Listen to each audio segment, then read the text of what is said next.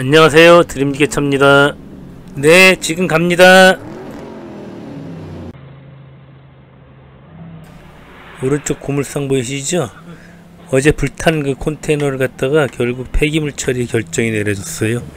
지금 컨테이너를 들고 이 거리로 와야 되는데 여기가 공장지대다 보니까 큰 대형 차량들도 많이 지나다니거든요. 제가 지나갈 때까지만 좀 안 지나갔으면 좋겠습니다 간단하게 동영상 올려봅니다. 약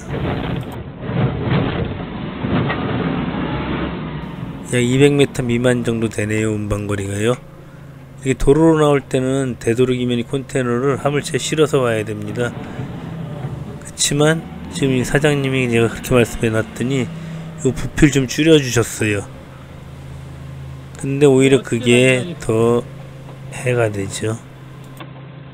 전화상으로 작게 만들어 놨다 그래갖고 뭐 해놓으셨나 그랬더니 옆에 판 뜯어놓고 위에 컨테이너가 지금 세로로 떠갖고 후살이 걸면은 어느 정도 그 컨테이너가 들리는데 이건 가운데는 꺾여 버려요. 발 들어가는 데까지만 들리고요. 그래서 결국에는 여기 있는 그 전동지게차가 뒤에서 같이 보조를 해주면서 고물상까지 운반하게 됩니다 어차피 폐기물 처리할 거니까 크게 뭐 압박이나 부담은 없어요. 그래서 그냥 마구 끌고 나갑니다. 질질질 끌고 나가요. 이런 식으로 컨테이너가 꺾여 있어요.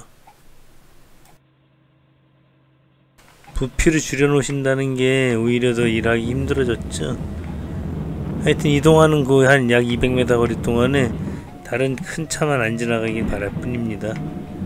자 그럼 뭐 요거는 영상은 별 재미없으니까 후다닥 돌리겠습니다.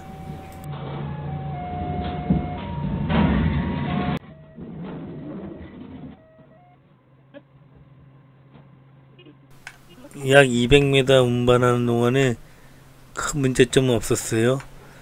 마지막 왕복 2차선 도로를 통과하는 거하고 그리고 그 입구에서 25도 윙바디 만 나고 잠시 지체한 것 빼고는 무사고로 안전하게 작업이 끝났습니다.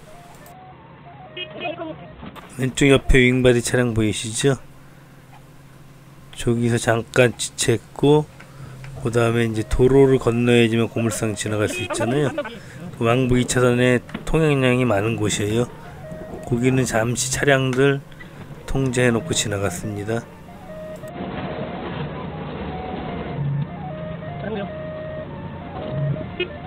이곳이 왕복 2차선 도로예요. 여기 통과하고 나면은 이제 위험 요소는 없죠. 자, 고물상 안으로 들어왔습니다. 안전하게 도착 후 쿠사리 제거하는 중이죠. 양쪽 쿠사리 다 제가 제거합니다. 이제 지게차 발 빼고 돈 받고 오면 끝나죠. 간단한 작업이었습니다. 그러나 도로로 나올 때는 항상 조심할 게 너무 많아요. 오늘은 그래도 지나가는 차량이 없어갖고 운이 좋았네요. 감사합니다. 수고하셨습니다.